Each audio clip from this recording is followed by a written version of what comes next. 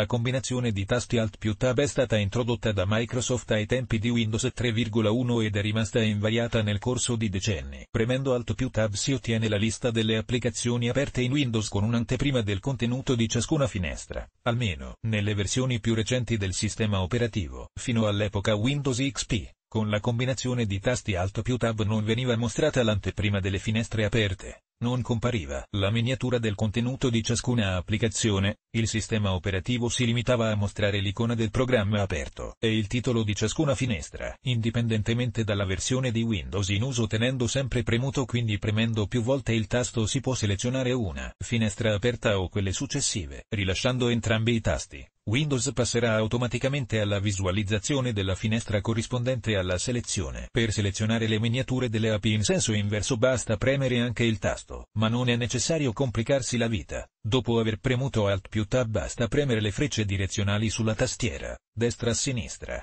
su, giù, per spostarsi all'interno della schermata e scegliere la finestra desiderata. Per aprire la schermata che in Windows 10 e Windows 11 permette di passare da una finestra all'altra senza tenere premuto alcun tasto. Si può premere, basta insomma aggiungere la pressione del tasto, faccina triste. In questo modo le miniature resteranno a video anche rilasciando tutti e tre i tasti. Nell'esempio in figura la schermata Alt più Tab o CTRL più Alt più Tab che appare in Windows 11. Per chiudere la schermata senza selezionare una finestra aperta basta premere oppure cliccare sull'area di sfondo di colore grigio o all'esterno di essa. Dopo aver utilizzato la combinazione di tasti ci si può comunque spostare tra le miniature usando i tasti freccia. Non solo selezionando una finestra che si vuole chiudere, ad esempio con i tasti freccia, e premendo, essa verrà automaticamente chiusa. Un modo sbrigativo per chiudere un programma correntemente in esecuzione senza fare clic sulla X in alto a destra nella sua interfaccia. Windows 10 e 11. Le schede aperte in Edge appaiono nella schermata Alt più Tab. Con il rilascio di Windows 10 20H2 e con Windows 11 gli utenti di Microsoft Edge troveranno nella schermata che appare premendo Alt più Tab riferimenti alle ultime schede aperte nel browser. Al momento la funzionalità viene abilitata di default e non è compatibile con i browser di terze parti come Chrome e Firefox. Premendo Alt più Tab oppure CTRL più Alt più Tab viene mostrata la miniatura di ogni istanza di Edge in esecuzione e sparatamente il contenuto di ciascuna scheda del browser. Per regolare il comportamento della combinazione di tasti, si può scrivere impostazioni multitasking nella casella di ricerca di Windows 10 o di Windows 11 quindi scorrere il contenuto della finestra fino a trovare Alt più Tab. L'opzione apri le finestre e le 5 schede più recenti in Microsoft Edge comporta la visualizzazione automatica con delle miniature delle schede aperte più di recente nel browser Microsoft. Diversamente, è possibile scegliere di mostrare sempre il contenuto di tutte le schede o di limitarsi a quello delle finestre aperte, non solo di Edge ma anche delle altre applicazioni. Scegliendo solo finestre aperte si ripristina il comportamento abituale di Windows.